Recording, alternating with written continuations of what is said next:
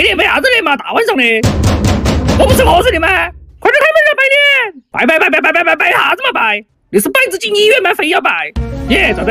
你那是拜年呢，还是来黑我哟？啥子嘛？你拿把刀子要威胁我？喊我拿红包给你吗？咦，你果然刀都是塑料的，你还想我拿红包给你？可不可能？点头是几个意思啊？走隔壁去，看隔壁那个人给不给你红包？想喊我拿红包给你？可不可能？那我给你拜年嘛，恭喜老板发大财，红包给我拿起来，拿不拿嘛？你不拿？不拿你都给我爬，我还要收拾行李，明天坐早班再回老家。没心思给两个耍，把门给我关到。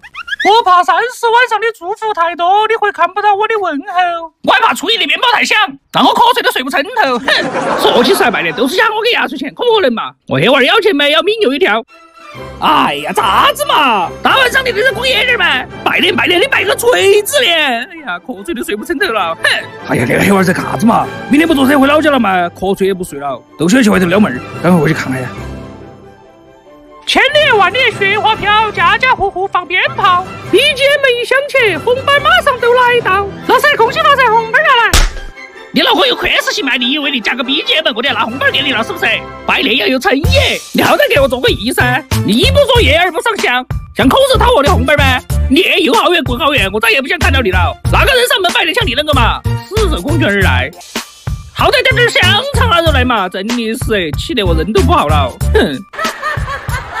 恭喜老板发大财，明年一定生二胎。耶，大总，婆娘，你电视机那个飙水了啊？那是你才买的新电视机，那那个都漏水了。嘿嘿嘿，说刚刚才洗了脑壳。那那啥子情况哦？都说了哇，我刚刚才洗了脑壳，没吹干，就赶快上门给你拜年来了。我怕三十的晚上鞭炮太响，初一你又听不到我的祝福，所以我就过来提前给你拜年了噻。哎呀，脑壳进水了。你咋子？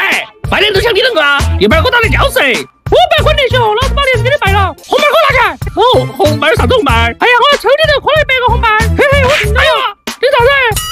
你听到了？听到了那个？那一百个红包是老子的私房钱。